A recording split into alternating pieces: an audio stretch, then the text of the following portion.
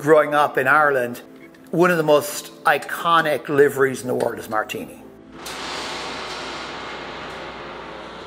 It was a golden age of racing, golden age of rallying. It harks back to the time of a sponsor, not 20 sponsors. In that regard, the whole car livery is pulled together, it's done nicely, it's visually very appealing.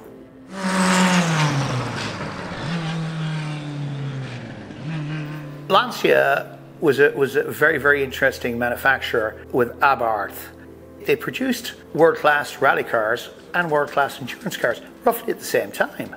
So you went from Beta Monte Carlo, which was a uh, sports car championship winning car, to the LC1, which is an endurance car, which won you know, Nürburgring. And then you went from that to the LC2, which is you know, a Ferrari V8 making upwards of 800 horsepower, twin turbo, very classic looking Group C car.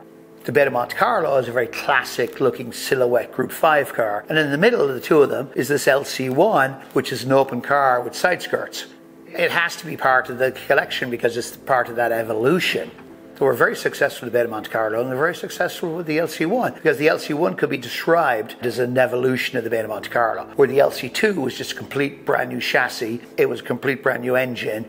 The interesting thing is they took a lot of the learning from the Beta Monte Carlo and sort of transferred it into the LC1. That's why the LC1, even though there's only four of them, it's an important part of the story.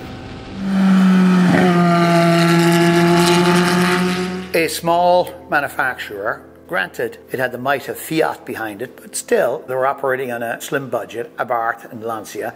But to produce world winning rally cars and world winning endurance cars at the same time was certainly a feat that hasn't been duplicated since.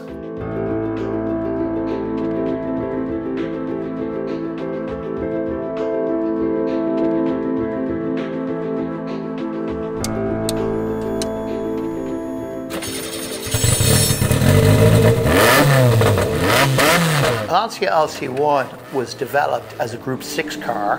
For the history buffs, the Group 6 lasted about 10 minutes, pushed it aside in favour of Group C, higher displacement cars.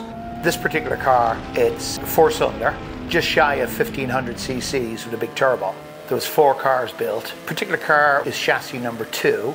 The majority of the cars are either in the Lowenthal or the Dallara Museum really, really interesting car to drive, given the fact it's low displacement and four and a half, 5,000 RPM is when it goes from 100 horsepower all the way up to 450 horsepower. It's different driving style insofar as you're managing to the turbo. You're keeping the RPM up. So as you go into corners and come out of corners, but it responds very, very well. And the car won Nuremberg outright in 82. If you think about that up against everything else it was racing, for the size of the engine and the fact that there was only four cars, so there wasn't an enormous amount of development behind the car. That's quite important.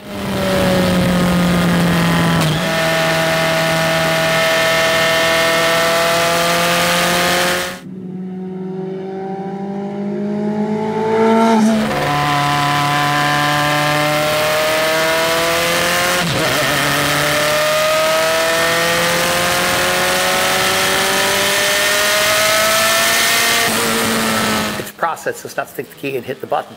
Or it's not hook up five laptops, have 15 engineers, remap the engine because the humidity has gone from, you know, 75% to 80%. It's not that. It's a car built in 1981. It's a lot of management of turbine. Now, that seems to suggest that you're spending a lot of time looking at boost gauges and RPM gauges, but you feel the car, you hear the car, and it becomes a very, very natural response to the car. You have to be braver than the car because if you're not, the car's going to start shuddering because it's kind of not on turbo, not off turbo. You got to be a little, I won't say rough with the car because that sounds like you're not respecting the vehicle. You got to be assertive, is the word. You're not going to do a lot of engine braking, given the engine's about that big. So as you get to the end of the straight, you're managing your RPM, you're managing your braking because you don't want to go into that last turn with no boost.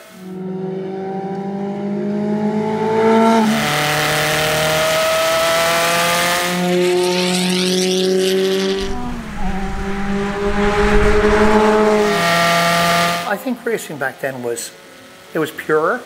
You don't have a lot of driver's aids.